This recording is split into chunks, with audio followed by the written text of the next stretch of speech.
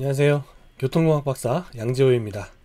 운전면허 필기시험 해설해 보도록 하겠습니다. 13번 거짓 또는 그 밖의 부정한 수단으로 운전면허를 받아 벌금 이상의 형이 확정된 경우 얼마 동안 운전면허를 취득할 수 없는가 했습니다. 야, 이 문제 어려운 문제거든요. 이 문제 잘 기억해 놓으시고 푸시면 되겠습니다. 법에서 찾기가 어려워요. 이 형량을. 운전면허 결격 사유에 보면 운전면허가 취소된 날부터 2년 동안 면허를 딸 수 없는 케이스가 나오는데 93조 제1항 8호 93조 1항에 8호를 보면 면허를 취소해야 되는데 8호의 대상에 거짓이나 그 밖의 부정한 수단으로 운전면허를 받은 경우에는 운전면허를 취소해야 돼요. 그리고 취소된 날로부터 2년 내에 면허를 받을 수가 없어요. 법도 알아야 되고 82조도 알아야 되고 93조도 알아야 되고 8항까지 다 기억을 해야 되는 상황이라서 상당히 어려운 문제입니다. 그래서 거짓 또는 그 밖의 부정한 수단으로 운전면허를 받아서 벌금 이상 형이 확정됐으면 취소일로부터 2년 내에 면허를 취득할 수 없습니다. 답이 2번입니다. 14번 도로주행 시험에 불합격한 사람은 불합격한 날부터 얼마가 지나야 다시 도로주행 시험에 응시할 수 있겠습니까? 하는 거죠. 며칠이 지나야 가능합니까? 바로 가능합니까? 3일 지나야 됩니까? 5일 지나야 됩니까? 7일 지나야 됩니까? 요건데 도로교통법 시행령 제49조에 보면 도로에서 자동차를 운전할 능력이 있는지에 대한 시험, 도로주행 시험 얘기하는 거죠. 도로주행 시험에 불합격한 사람은 불합격한 날부터 3일이 지난 후에 다시 도로주행 시험에 응시할 수 있다 했습니다. 바로 시험을 못 보죠. 그래서 떨어진 사람은 연습하고 와라 이런 얘기입니다. 답은 3일 이상이므로 2번이 되겠네요.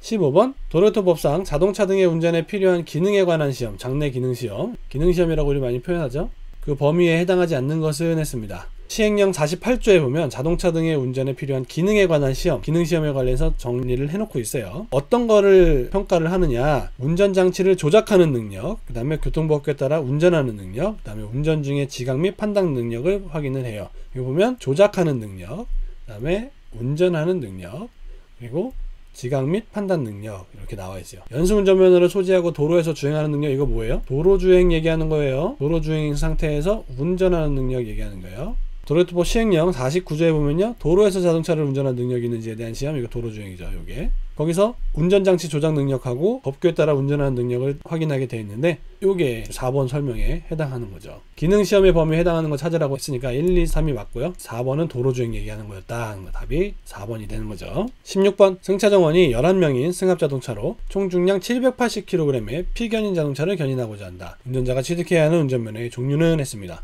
여기를 딱 나눠야 돼요. 여기를 딱 나눠서 승차 정원이 11명인 승합 자동차랑 총 중량 780kg인 피견인 자동차 그러니까 견인되는 차 차가 있고 붙잡아 가지고 끌고 간단 말이에요. 이렇게 이런 상황에서 요 차가 11명짜리 승합차고 요 차가 총 중량 780kg이라는 거예요. 요럴 때 요 차를 운전하고 있는 운전자가 취득해야 되는 면허의 종류가 뭐냐 하는 거죠. 도로교통법 시행규칙 별표 18에 보면 운전할 수 있는 차의 종류에 비고 3번 안에 피견인 자동차는 제1종 대형 면허, 제1종 보통 면허 또는 제2종 보통 면허를 가지고 있는 사람이 그 면허로 운전할 수 있는 자동차로 견인을 할 수가 있다 했어요. 각 상황이 나오는데 보죠. 총 중량 750kg을 초과하는 3톤 이하의 피견인 자동차를 견인하기 위해서 그러니까 요 차가 요런 상태죠. 750kg에서 3톤 이하, 750에서 3천 사이라는 거고 킬로그램. 그거를 끌기 위해서는 견인하는 자동차를 운전할 수 있는 면허 요 차를 운전할 수 있는 면허하고 그 다음에 소형 견인차 면허 또는 대형 견인차 면허를 가지고 있어야 된다. 소형 대형을 가지고 있어야 돼요. 그리고 3톤을 초과한다. 그러면 3톤을 초과한다 그러면 피견인 자동차를 견인하기 위해서는 견인한 자동차를 운전할 수 있는 면허는 기본으로 다 똑같이 있어야 되는 거고요 이거는. 대형 견인차 면허를 가지고 있어야 된다. 소형 대형 가능하고 요건 대형이 가능하다. 견인 자동차 면허가 두 개가 있어요. 소형 견인차 면허가 있고 대형 견인차 면허가 있어요 그래서 견인하는 차 말고 끌려가는 차 뒤에 따라서 끌려가는 차가 750kg에서 3000kg 사이면은 소형에서 대형 견인 면허가 있어야 되고 3톤 이상인 경우에는 대형 견인 면허가 있어야 된다 하는 겁니다. 그리고 요 차를 운전할 수 있는 면허는 당연히 가지고 있어야 된다는 거고요. 요게 요 얘기였죠.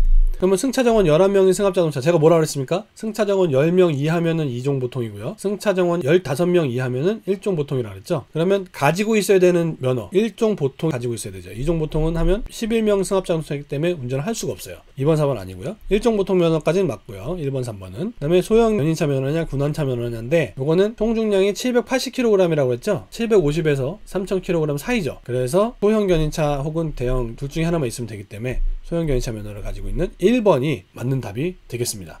이 문제 어렵죠. 두 가지 문제를 한꺼번에 물어보는 문제라서 이게 어렵습니다. 일종 보통 면허에 소형 견인차 면허가 답이 되겠네요. 답 1번이었습니다.